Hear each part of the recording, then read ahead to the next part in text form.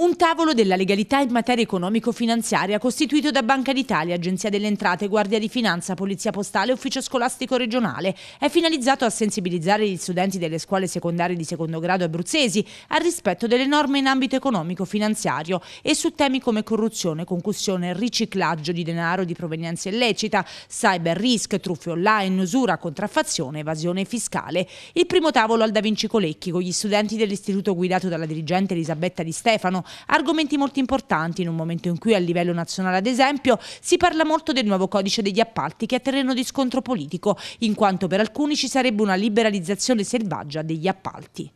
Noi, eh, la Banca d'Italia è molto attiva sul fronte dell'educazione finanziaria in generale. In questo ambito abbiamo inteso eh, come priorità l'educazione dei giovani rispetto della legalità in campo economico-finanziario. Noi siamo stati capofila in questo progetto che lanciamo oggi in questa scuola dell'Aquila eh,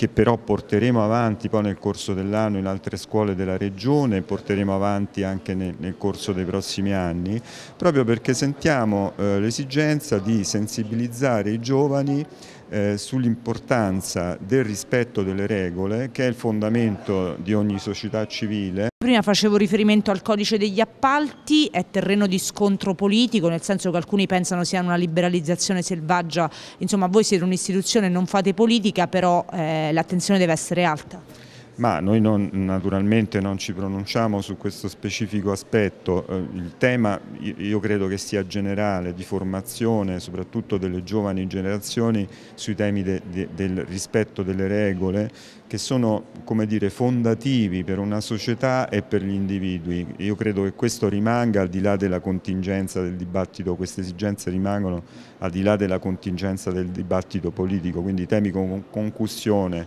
corruzione, evasione fiscale eh, e come dicevo delle truffe online sono temi eterni che eh, io temo insomma, discuteremo a lungo su, su cui ecco, dobbiamo investire nel medio-lungo termine tanti i testimoni della legalità che hanno parlato ai ragazzi della Banca d'Italia, della Polizia Postale, della Finanza e di tutti gli altri attori coinvolti.